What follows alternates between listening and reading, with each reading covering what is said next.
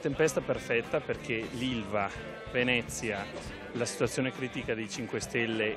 Credo che Di Maio si sia politicamente suicidato dopo il voto su Rousseau, non credo abbiano molta speranza di proseguire. Il governo sarà ovviamente influenzato da, da, una crisi di questo genere. Siamo a Firenze alla festa del foglio, mentre a Roma il Movimento 5 Stelle è alle prese con la sua crisi. Proprio in quella che ha un titolo più che mai coraggioso, la festa dell'ottimismo, fra ministri e big della politica si scommette sul futuro di questo governo. Eh, stiamo facendo un lavoro straordinario e credo che nessuna delle forze politiche che oggi sostengono il governo abbia intenzione di far naufragare questo progetto e ritornare al voto. Vorrei sommessamente dire al Ministro degli Esteri che a G20 si va, non si resta in Sicilia, si va a G20, è un fatto di etica nazionale, di orgoglio del Paese. Intanto da Roma Grillo blinda l'accordo di governo lanciando un nuovo contratto a gennaio. Di tutti gli equilibri, Grillo, non Grillo, non me ne frega assolutamente niente. Nel momento in cui continuano a giocare a di rimbalzo e la situazione non si risolve, il Paese penso che si farà un'idea sbagliata di questo governo. Bisogna trovare una soluzione e prendere o terminare questo e andare alle elezioni o altrimenti sì, no, non possiamo andare avanti così. Durerà quanto è giusto che duri ed è giusto che duri molto poco. Brindare alla crisi pentastellata potrebbero essere sia la coalizione di centrodestra che il PD. Alle regionali 5 Stelle correranno da sole, faranno un favore a Salvini, che fine faranno? No, fanno un favore a se stessi perché mi pare che eh, se, se, questa decisione deriva dal fatto che vogliono investire di nuovo sulla propria identità. Capisco che questo possa essere un problema per il governo, ma come partito fanno bene a fare questo. Questo governo è nato per eh, comporre una maggioranza perché dietro la porta ci sono i sovranisti. E c'è chi ostenta sicurezza anche per le regionali. Mi auguro che ci possano essere nelle due regioni dei risultati positivi. Dopo l'Umbria un duro colpo anche in Emilia sarebbe uno scossone Ma in Emilia il PD vince.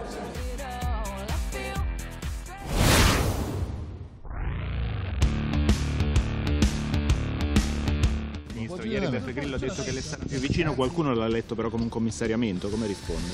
Eh, comunque il movimento fa le cose, in ogni caso le fa, eh, ci troviamo sempre con qualche critica. Io non mi pento mai quando i cittadini possono esprimersi e lo dico con molta franchezza, è stata una prova di forza dei nostri iscritti. Una prova di forza che Luigi Di Maio ha perso, quella sulla pausa elettorale del Movimento 5 Stelle, bocciata su Rousseau. Un vero e proprio terremoto, ma il leader pentastellato, riconosciuto ma commissariato da Grillo, prova a rilanciare e lo fa con numerose tappe nel cuore della Sicilia, dove, nonostante la fuga dall'opposizione interna romana, il ricordo del 50% alle politiche si mescola con lo spettro della tenuta del governo. Facciamo un contratto di governo, sediamoci al tavolo e questo governo durerà tre anni. Quanto alle questioni interne al movimento, se il movimento è forte e compatto, il governo è forte e compatto. Col PD hanno fatto la cosa più sbagliata secondo me. Tutta la nazione è abbandonata. 5 Stelle e PD, ma io penso che cosa, hanno fatto la cosa più sbagliata di questo mondo. Mentre la base si oppone all'accordo di governo, Di Maio, dopo il voto su Rousseau, lascia una finestra aperta a possibili alleanze. Noi siamo aperti a tutte le forze civiche del territorio. Questo è il nostro obiettivo. Faremo una campagna difficilissima perché i risultati non saranno assolutamente scontati, ma anche questo è coraggio, è presentarsi anche dove sai di avere delle difficoltà. Una delle difficoltà a cui si riferisce Di Maio è il calo di voti, ma il ministro degli esteri è convinto che sia ancora presto per tirare le somme. I conti si fanno alla fine. Io rivendico il diritto come movimento, come forza politica, di poter essere giudicata alla fine di questi cinque anni di governo.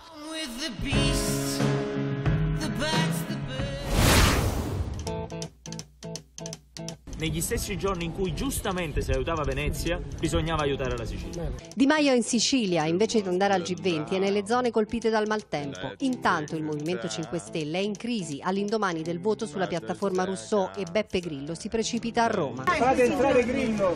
Il movimento è in piena confusione, pochi hanno voglia di parlare. Tentiamo con Di Battista che non risponde al telefono, Lezzi che si chiude dietro un non è proprio giornata, Gianrusso che riaggancia. No, non commento, grazie, buongiorno. Nel frattempo il capo politico dei 5 Stelle torna di corsa dalla Sicilia per incontrare Grillo. Siamo d'accordo su tutto, abbiamo smentito tutte le leggende metropolitane di questi giorni. Ed è Grillo a dettare la linea. È che siamo in un momento di caos. Il capo politico è lui, quindi non rompete i coglioni, fatemi la cortesia. Io rompo i coglioni, dice Roberta Lombardi. E Alberto Airola scrive: Ok, non rompiamo le scatole, lavorerò in silenzio. Vi va bene così? Una persona sola sulle spalle, il movimento, non se la può caricare. Di conseguenza bisogna trovare il modo che questo mm, modo di riprogettare il movimento sia il più efficace possibile. E mentre rinnova la fiducia a Di Maio, Grillo apre a sinistra. Avete scelto questa votazione in Emilia Romagna. Ci andiamo, ci puoi dare un piccolo voto per beneficenza a noi, che magari facciamo da tramite tra una destra che arriva un po' pericolosetta e una sinistra che si deve formare anche lì. E, e quando parlo di progetti insieme con la sinistra, parlo di progetti alti. Di Maio, ripreso il tour in Sicilia, si allinea. Non siamo più quelli che eravamo dieci anni fa, mettetevelo bene in testa. Ecco, tutto ci tende al caos, all'entropia. Dal caos vengono le idee meravigliose. Beppe in questo momento fa un po' di confusione, perché da una parte concordo con lui pienamente su quell'apertura che fa a sinistra, poi però eh, blocca tutto dicendo che questo deve farlo una persona sola, che è il capo politico e il referente, e, e questa persona sola forse è quello che ci crede meno di tutti. E questo secondo me può creare qualche problema, altro che caos. Parliamo di caos da cui si potrà uscire con un sole meraviglioso e con un cielo azzurrissimo. Un po' naif come concezione, questa che del caos si genera Sa- qualcosa di costruttivo. Sa però eh, il caos è sempre preludio del cosmos.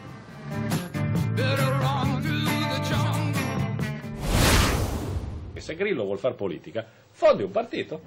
Certi amori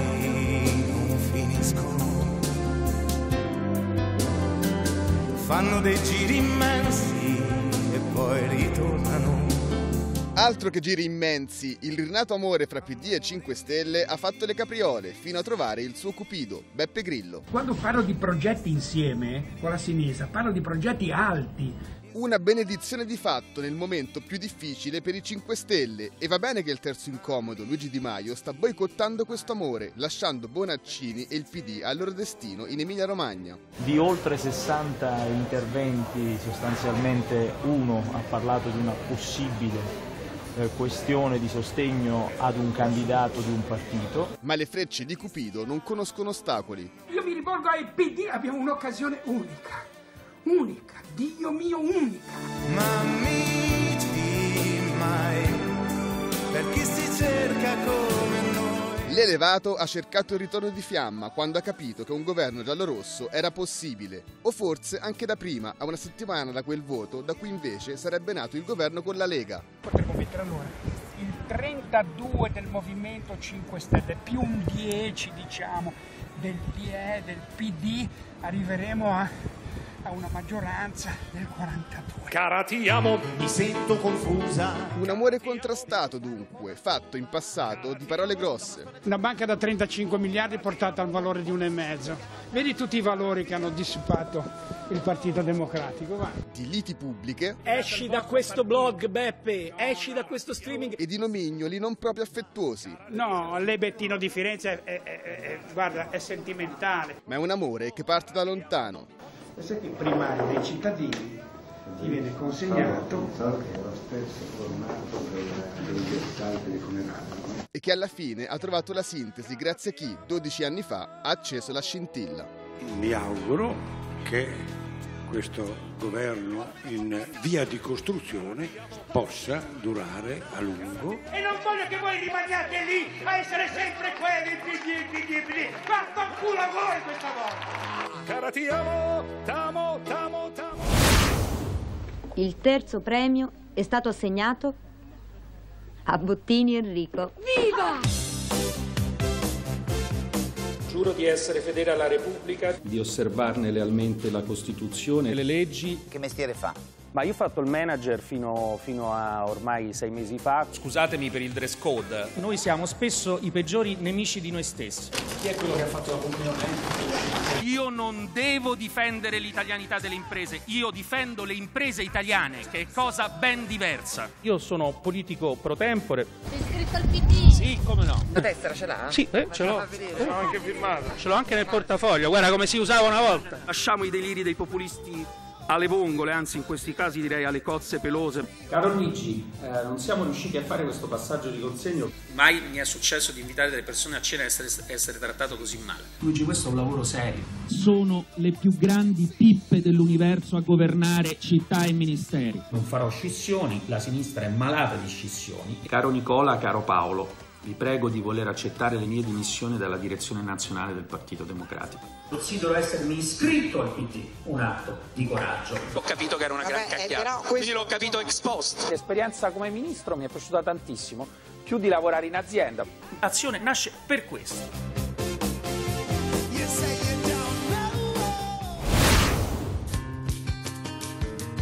il nostro caro sindaco nega la cittadinanza a una persona così onorevole. Non ci posso credere, sono esterefatta. Beh, tenendo conto che ora non c'è più la sinistra, può darsi che, che la pensano in un altro modo. L'ultimo schiaffo a Liliana Segre arriva da Sesto San Giovanni, l'ex Stalingrado d'Italia, alle porte di Milano. Roccaforte storica della sinistra, passata per la prima volta dal dopoguerra al centrodestra nel 2017. Qui il Consiglio Comunale ha bocciato la proposta dei 5 Stelle di dare la cittadinanza onoraria alla senatrice vita, sopravvissuta all'Olocausto. Il sindaco ci ha accusato di strumentalizzazione, a mio parere è ma evidente che la strumentalizzazione l'ha fatta lui.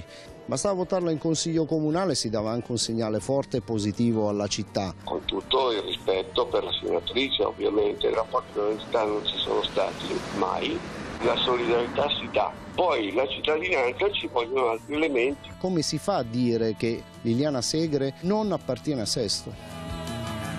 Medaglia d'oro alla resistenza, la storia di questa città è fortemente legata alla lotta al regime nazifascista, a partire dagli scioperi nelle fabbriche tra il 42 e il 44.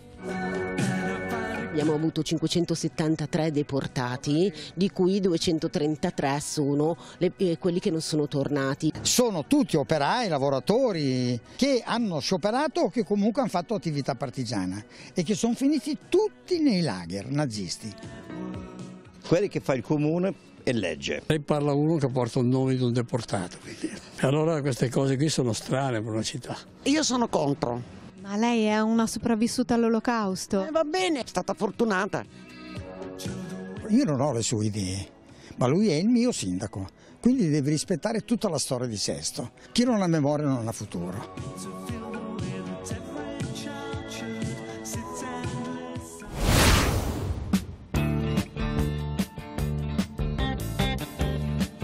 Abbiamo idea, non lo so chi sono sti candidati. Mancano due mesi alle elezioni regionali ma i calabresi non sanno per chi votare. Non ci sono né le candidature ufficiali né i programmi politici. Andiamo a votare, però aspettiamo le novità dei, dei partiti. Luigi Di Maio doveva arrivare in Calabria lunedì. Ha annullato tutto per il maltempo, ma forse non solo. Qui infatti, dopo un primo tentativo di dialogo con i Dem che poteva convergere sull'imprenditore del tonno Pippo Callipo, adesso il Movimento 5 Stelle sembra spaccato in due anime. Rousseau ha dato una risposta importante, il capo politico ha scelto di aprire eh, le consultazioni il, con il simbolo del movimento, sicuramente senza il PD. In netta rottura è la deputata Dalila Nesci che dopo aver ricevuto da Di Maio un secco no alla sua autocandidatura ora rilancia per un'apertura a sinistra. Fatto civico però guidato dalla, dal Movimento 5 Stelle da una figura autorevole che eh, coordini questo dialogo con il PD rinnovato e alle forze della sinistra. E se il movimento è spaccato, altrettanto appaiono i suoi elettori. Votato il Movimento 5 Stelle. Li rivoterebbe? Sì, sì. Preferirei solamente che governassi il Movimento 5 Stelle. Non mi fido assolutamente del PD. Se serve ad arginare questa destra populista eh, va bene tutto. Per me non esiste più il PD. Quindi non c'è proprio nessuna convergenza da nessuna parte. Il PD si trova a un bivio o inseguire l'imperviastrade di un accordo con un alleato recalcitrante o far leva sull'orgoglio apprezzerei molto da parte del mio segretario e del mio partito di chiudere al Movimento 5 Stelle. Noi dobbiamo finirla di andare col cappello in mano a chiedere l'elemosina. Noi siamo il Partito Democratico. L'accordo con il movimento però risolverebbe più di un guaio nel PD calabrese. Quello più grande si chiama Mario Oliverio, il presidente uscente sconfessato da Zingaretti, ma che ha intenzione di continuare la sua corsa in solitaria. Noi avremmo bisogno oggi di coesione. Non ho mai detto Oliverio la morte, ho sempre chiesto eh, un confronto.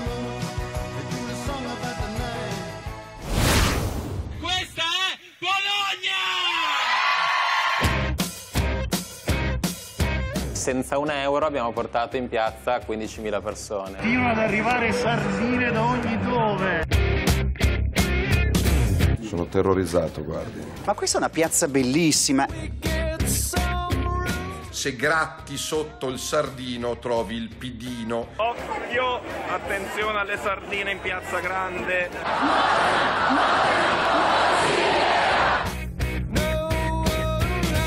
Che le piazze siano organizzate da gente che fa dei post del genere. Posso dire un bel Salvini a testa in giù?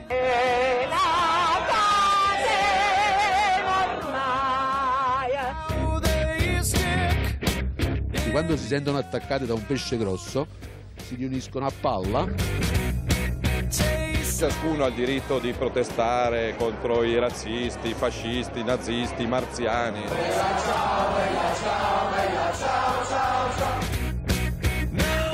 Che altro magari un pericolo per i partiti di sinistra? Quasi tutte le città d'Italia che scenderanno in piazza con una sardina in mano. Io li aspetto con, con gioia, ogni settimana pubblicherò la mia agenda.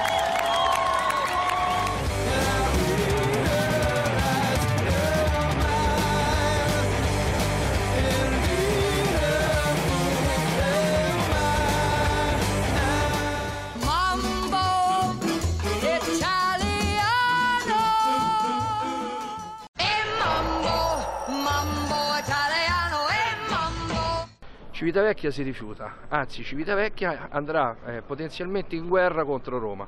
Siamo pronti a fare la guerra.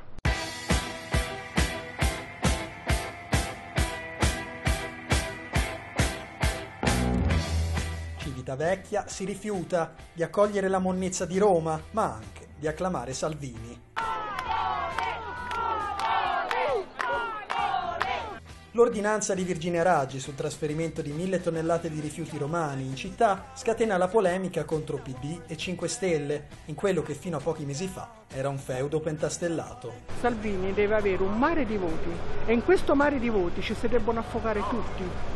PD e 5 Stelle. Un vero e proprio assist per il leader della Lega, che infatti si precipita a soffiare sul fuoco antigiallo-rosso, sui problemi locali. Perché se manca un piano rifiuti è perché c'è un'incapace a fare il sindaco e un'incapace a fare il governatore. Questi è da settimane che si scrivono letterine, sembrano due innamorati, che però di mezzo non c'è il, il pegno d'amore ma c'è la monnezza. Come su quelli nazionali, con tanto di immancabile frecciata a Conte. Va dagli operai dell'Ilva a dire che non ha una soluzione. Va dai lavoratori di Alitalia a dire che non c'è una soluzione, non è in grado di governare un paese come l'Italia. 5 Stelle ha rovinato completamente Civitavecchia. Invece di andare avanti ci ha mandato indietro. Oggi si sono svegliati dopo sei mesi di sonno. Salvini non ha potere politico. Che cosa deve risolvere? Mentre Civitavecchia si divide sull'operato della nuova giunta leghista, il comizio di Salvini si trasferisce nella sala stampa del comune.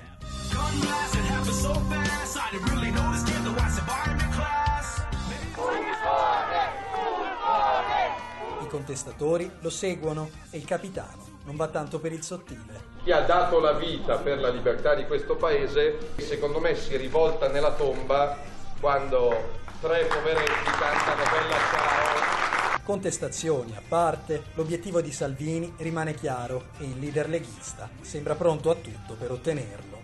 Se ci fosse bisogno di, di sedersi in mezzo a una strada io non ho problemi, mi cambio i pantaloni, mi metto i jeans e mi siedo in mezzo alla strada. Ius Culture e Ius Soli, non ho problemi a dirlo e a rivendicarlo come una prospettiva politica da iniziare subito. C'è una legge rimasta incagliata nelle sabbie mobili del Parlamento e lì dimenticata. Si tratta dello Ius Soli, approvato dalla Camera nel 2015 con i voti di sinistra e Partito Democratico. Era una delle priorità del governo Renzi. È importante che questo governo sia percepito come il governo che fa le cose, compreso la battaglia di Sessil sul diritto alla cittadinanza per lo Ius Soli perché è nato qui. In questo momento storico c'è bisogno di eh, regole, di certezze, di limiti. Voti contrari Lega, Forza Italia e Fratelli d'Italia. Astenuto il Movimento 5 Stelle, anche se l'anno prima aveva depositato una proposta di legge simile. Noi non facciamo altro che mettere sui barconi ancora più gente disperata, gente incinta che viene a partorire qua in Italia. Approdata in Senato l'opposizione la ricoprì di emendamenti, poi a giocare a sfavore è arrivato il no al referendum costituzionale, il passaggio di governo, scontri interni al PD e minacce di scissione. Con le nuove elezioni alle porte, in aula il voto andò così.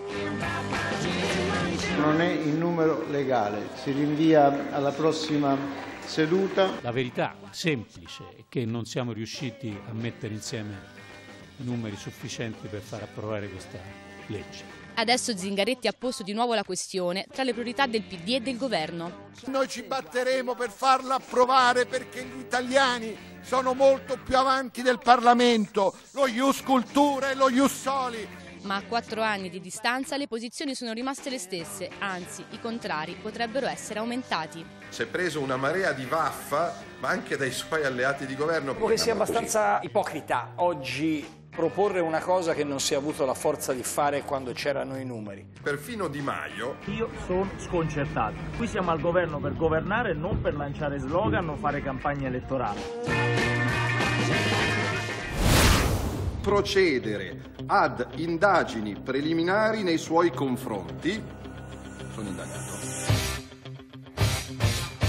È un atto criminale tenere i migranti su, sulla, sulla nave in questo modo. 15 anni di galera, a cui bisogna eventualmente aggiungere le aggravanti. Dalla 18 tutte le persone basta, stop. Dovevano scendere sul territorio italiano. Oggi c'è la giunta alle elezioni che decide se lei deve essere processato. Il voto è andato, 16 voti a favore della mia proposta di negare l'autorizzazione a procedere. Io sono la persona più tranquilla del mondo. ONG avvisate, mezze salvate. Hat sie auch gleichzeitig bekannt gegeben, dass sie uns nicht helfen wird, die Geretteten von Bord zu holen. Ma è racchete o racchete? I really haven't had time. I have 42 people to take care of. Questa capitana che ha detto io sono bianca, ricca, benestante e tedesca, non sapevo come occupare il mio tempo, vado in Italia a rompere i coglioni. Ho formulato richiesta motivata di archiviazione. Evidenziatore è una buona notizia. Stamattina mi sono alzato bene perché vengo al congresso di un sindacato di polizia da indagato. Dico ai magistrati di Agrigento che lo rifarei domani mattina.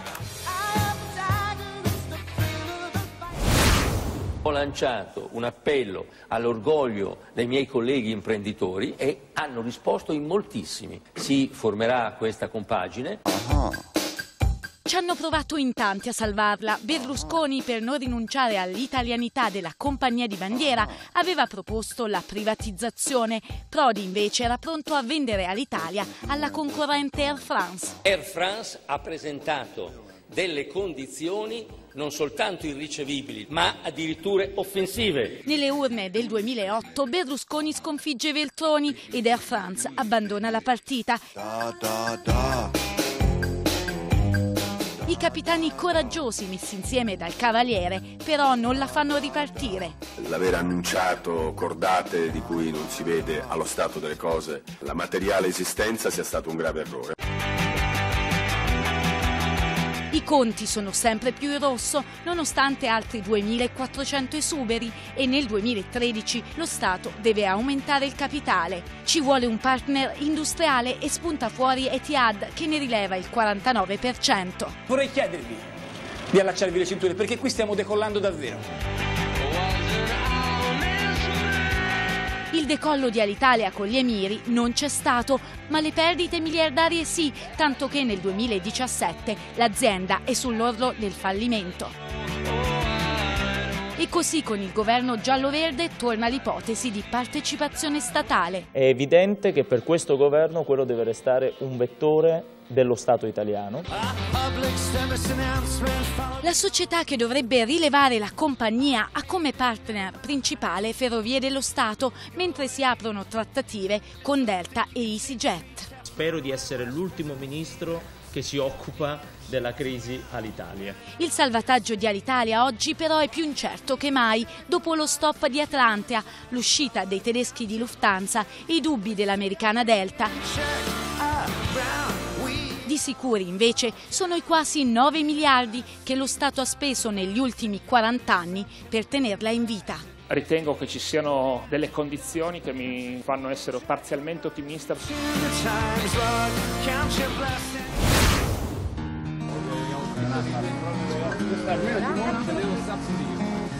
Per favore vieni al ristorante Il Veliero di fronte all'ufficio alle ore 10.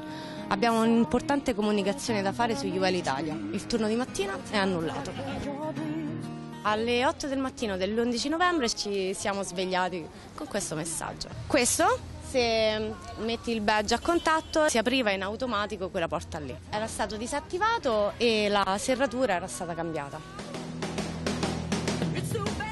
fuori dall'azienda da un giorno all'altro. 40 persone che lavoravano direttamente tramite una cooperativa per Uelo Italia, una società che si occupa della televendita di pietre preziose, hanno ricevuto questo trattamento. Le chiavi con cui hai chiuso la sera prima e la giorno dopo non funzionavano più? No, ci hanno fatto andare al ristorante. Abbiamo trovato cornetti e, uh, e succhi di frutta. E ci hanno detto che non avevano più soldi e che quindi pensavano di continuare con 10 persone. Le loro cose, appunti, caricabatterie e tazze per il tè sono rimaste dentro. Solo dopo settimane è stato concesso loro di rientrare a riprenderle. Un applauso ci hanno chiuso fuori come se fossimo dei ladri. Ci fanno entrare due alla volta perché hanno paura che potessimo rubare qualcosa. Sono misure cautelative quelle delle disattivazioni del badge che storicamente si prendono verso le persone che commettono degli illeciti all'interno dell'azienda. Ragazzi giovani, tutti under 40, da giorni in presidio fino all'imbrunire davanti all'azienda che per loro era come una famiglia. Il mio compagno è entrato poco dopo di me. Eh, mio cognato ha conosciuto qui sua moglie, insomma ci sono state tante nascite, tanti matrimoni. La nostra relazione è nata ad una festa aziendale. La mattina dopo eccoli di nuovo qui. Si sono dati appuntamento con i sindacalisti al bar dove erano soliti prendere il caffè in pausa pranzo. Sarebbe stato sufficiente una trattativa col sindacato fin da subito di modo che ovviamente tutto venisse regolamentato. I sindacati sono stati allertati solo in un secondo momento dai lavoratori. Comportamento gravissimo da parte dell'azienda una modalità forse applicata nelle aziende del 600 quando venivano fatte le serrate da parte del datore di lavoro, ma questo non si vedeva da anni nel nostro paese. L'azienda preferisce non rilasciare dichiarazioni, noi aspettiamo fino a sera e mentre siamo insieme ai ragazzi esce uno dei capi della società che controlla Iuelo. Proprio lui! Ci spiega come è possibile che sia stato messo in atto questa modalità di licenziamento? No, no, lasciate le camere! Poi anche per quasi tutti i superstiti, ovvero i lavoratori che erano rimasti al lavoro, stesso trattamento, serrature cambiate, lettere di licenziamento. Avevano già fatto cosa, una cosa simile in Inghilterra. Stesso identico modus operandi. A quanto pare ognuno può fare quello che vuole, cioè in barba alle leggi, alle lotte che ci sono state nel tempo.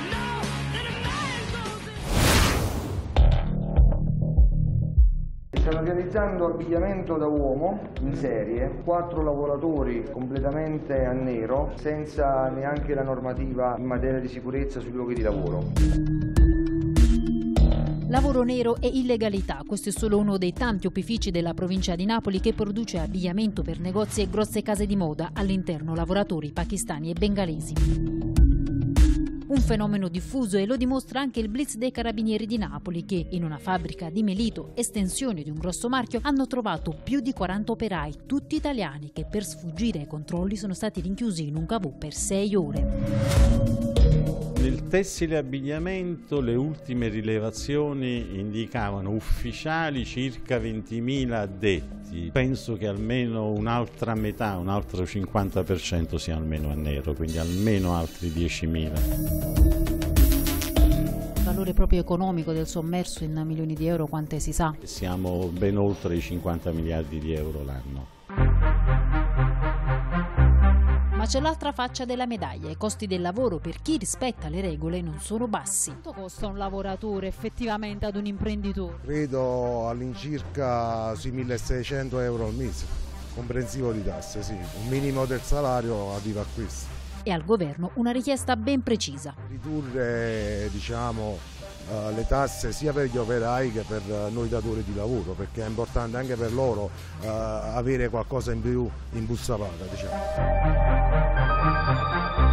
Secondo i dati dell'osservatorio Assolavoro e Datalab emerge che in Campania si nasconde il 20% del totale dei lavoratori in nero, la cui entità su scala nazionale ammonta a oltre 294.000 persone. Il governo non consentirà la chiusura dello stabilimento di Taranto ex Silva. Costringere l'azienda a trattare come è giusto che sia. Un paese industriale senza acciaio è morto. L'ultima crisi dell'acciaieria di Taranto comincia con un comunicato di poche righe. Non è possibile gestire lo stabilimento senza le protezioni legali necessarie per attuare il piano ambientale. Lo scudo penale, per cui i dirigenti non sono imputabili per danni ambientali pregressi, eliminato da un emendamento a firma Barbara Lezzi, rischia ora di spaccare la maggioranza e riapre la frattura fra i cittadini di Taranto. Voi potete rimanere a lavorare per 25 anni, voi e i vostri figli, per bonificare questa schifezza. Lo volete capire? Il diritto al lavoro di 15.000 persone contrapposto al diritto alla salute di un'intera città dove il tasso dei tumori infantili è il 30% superiore alla media nazionale. Noi viviamo in una condizione come se da quella fabbrica ci fosse un cecchino che ogni giorno spara su un cittadino, qualcuno lo ferisce e si ammala solo di tumore, qualcuno viene totalmente ammazzato. Quando ArcelorMittal si siede al tavolo della trattativa, le condizioni sono durissime. Ci è rappresentato l'esubero di 5.000 persone. Per noi non è assolutamente accettabile. Tra scioperi, ipotesi di nazionalizzazione e richiami del Quirinale è Giuseppe Conte l'unico politico a visitare Taranto. No, deve prendere una soluzione a me questo, a noi questo Presidente, che soluzione ha portato? Dov'è? Non ce l'ho in tasca, io non sono un venditore di fumo. Per il governo però tenere acceso lo stabilimento è fondamentale, senza un investitore non partirebbe nessuna bonifica. Alla fine si sono resi disponibili per venire alla elaborazione di un nuovo piano industriale che contempli nuove soluzioni produttive con tecnologie ecologiche Un'apertura che però non tranquillizza né la cittadinanza né tantomeno le 250 imprese dell'indotto che danno lavoro a 6.000 persone e che aspettano pagamenti per 50 milioni di euro. Di qua non ci muoviamo se non veniamo pagati. La bomba sociale, insomma, non è ancora disinnescata.